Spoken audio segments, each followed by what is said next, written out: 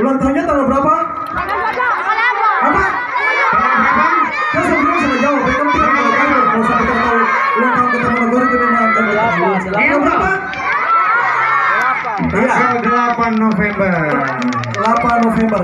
Nah, jadi eh, masyarakat Manokwari pada tanggal 8, 8 November kemarin sedang kita rayakan dan malam hari ini adalah puncak ya. Syukuran Assalamualaikum warahmatullahi wabarakatuh. Om Swastiastu, Namo Buddhaya, Salam Kebajikan, Salam sejahtera bagi kita semua, dan salam sehat bagi kita semua. Yang kami hormati dan kasihi Bapak Bupati Manokwari, yang kami hormati Bapak Wakil Bupati Manokwari, yang kami hormati pimpinan dan anggota DPRD Kabupaten Manokwari yang kami hormati anggota DPR Kepala Suku Besar Arfak yang menjadi mantan bupati tahun 2000 sampai 2010 yang kami hormati Bapak staf ahli, asisten, tenaga ahli di lingkungan pemerintah Kabupaten Manokwari. Yang kami hormati para pimpinan perangkat daerah di lingkungan Pemkab Kabupaten Manokwari yang kami hormati dan banggakan Ibu Ketua Tim Penggerak PKK Kabupaten Manokwari.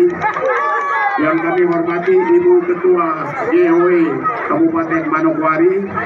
Yang kami hormati Ibu Ketua Dharma Wanita Persatuan Kabupaten Manokwari. Yang saya hormati Bapak Ibu Kepala Bagian Sekretaris Perangkat Daerah, Pejabat Eselon 3 dan Eselon 4 dan seluruh staf serta tenaga honorer di lingkungan Pemkap Kabupaten Manokwari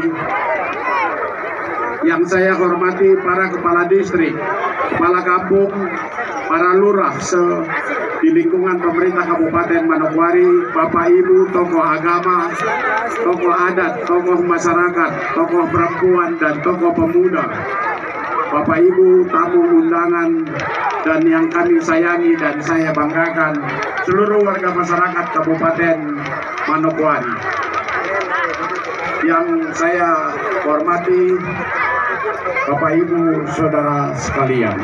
Pertama-tama marilah kita panjatkan puji dan syukur kehadiran Tuhan Yang Maha Kuasa atas kasih dan penyertaan dan perlindungannya.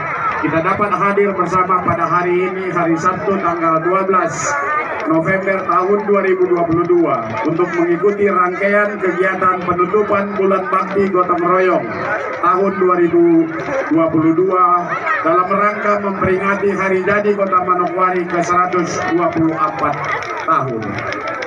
Bapak Bupati serta hadirin yang kami hormati. Selanjutnya perkenankan kami melaporkan beberapa hal tanggal 8 November tahun 2022.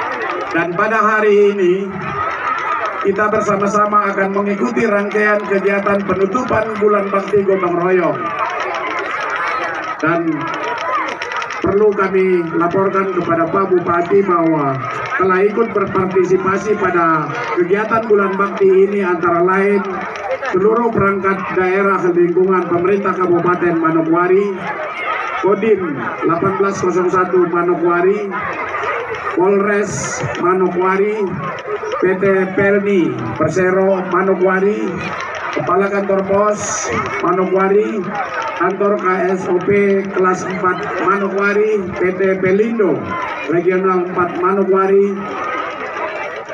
Bank Indonesia, Bank Papua, Bank BNI, Bank Bank Mandiri Taspen, Bank Arvindo, Bank Mega, Bank BTN, Bank Panin, Bank Mualaf,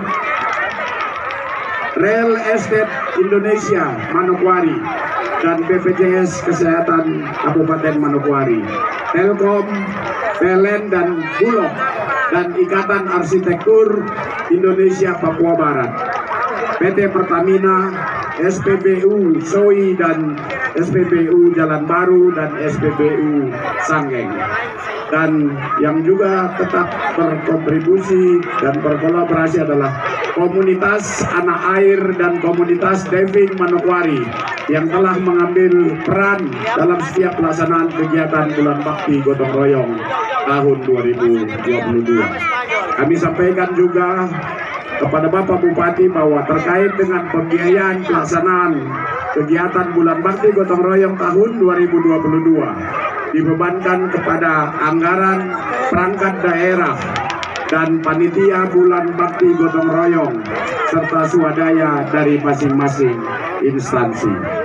Bapak Bupati dan hadirin yang kami hormati dan kasihi, demikian laporan pelaksanaan kegiatan ini kami sampaikan dan selanjutnya kami mohon kesediaan Bapak Bupati berikan arahan sekaligus menutup seluruh rangkaian kegiatan bulan bakti gotong royong dalam rangka memperingati hari jadi Kota Manokwari ke-124.